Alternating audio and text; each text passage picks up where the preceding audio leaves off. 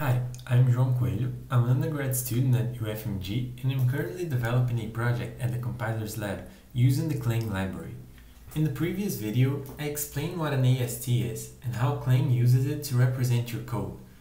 I talk about the AST in this video again, so if you don't know what it is, I suggest you watch the previous video in the series.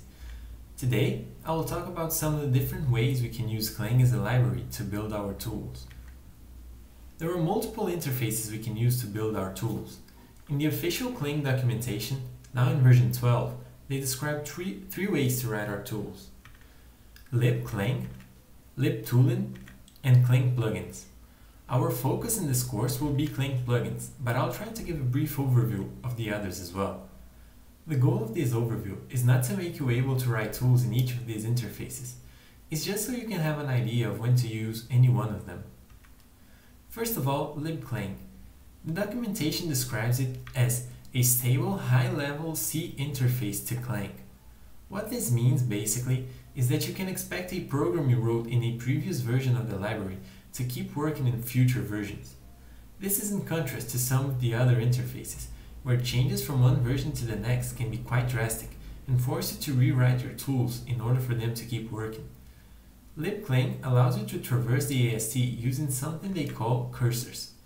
According to the docs, they allow you to iterate through the AST without needing to learn the details of the Clang AST, but on the downside, you don't get full control over it. libclang does not expose all of the information kept in the AST. The reasoning behind it is quite simple if we remember the goal of libclang to be stable. The less it exposes the AST in its API, the less it's likely to be affected by changes made to Clang. So if you need to use the AST more in depth, you might want to consider the other interfaces Clang provides. Next, we come to libtooling. libtooling's API allows you to take full control over the AST. libtooling runs front-end actions over code. Front-end actions act as the entry point to our tools. That is, that's where you write the code you want Clang to run for you during compilation. They are implemented as an abstract class in Clang, which other classes implement such as AST frontend action, which allows us to write actions that depend on traversing the Clang AST. When we look into Clang plugins, we'll see that it uses a kind of action called plugin AST action, which actually implements AST frontend action. That being said, libtooling is not as stable as libclang. Finally, we come to the main topic of this course, Clang plugins. As I have mentioned before, Clang plugins run plugin AST actions over code. This means that Clang plugins are actually a kind of tool you can build using libtooling. We've also seen that plugin AST action implements another class called AST frontend action, which in turn implements frontend action. In, then in the next video, we will finally implement our first Clang plugin, and then we'll see exactly how to implement these classes. But for now, what's important is to know that when we write Clang plugins, we are writing programs that run plugin AST actions over code.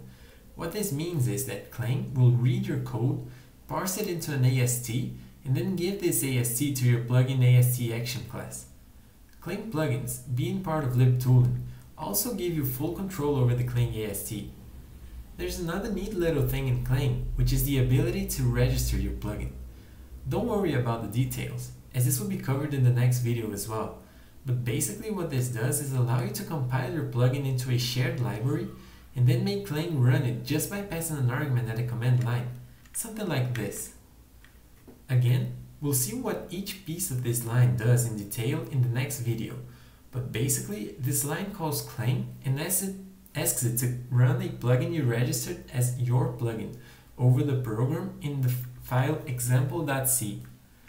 That plugin.so file is the so-called shared library where your plugin has been compiled. Finally, Clang plugins are also not as stable as libclang. So to summarize what we've seen today, libclang is a very stable library that allows you to build some interesting tools that do not depend on having every detail of the AST available. LibTooling, while not being as stable as libclang, allows you to access pretty much everything that Clang saves in the AST when parsing your code. And Clang plugins are one way of using LibTooling, and has some specific features such as the registry, and others we'll see in more detail in the next videos. Today we saw some of the options we have if we want to write Clang tools, and some of their strengths and weaknesses. In the next class, we will finally start building our first Clang plugin. I'll introduce the bare minimum we need to get a plugin up and running before we jump into more interesting stuff. Until then, you can email me with any questions, suggestions, or comments. Thank you.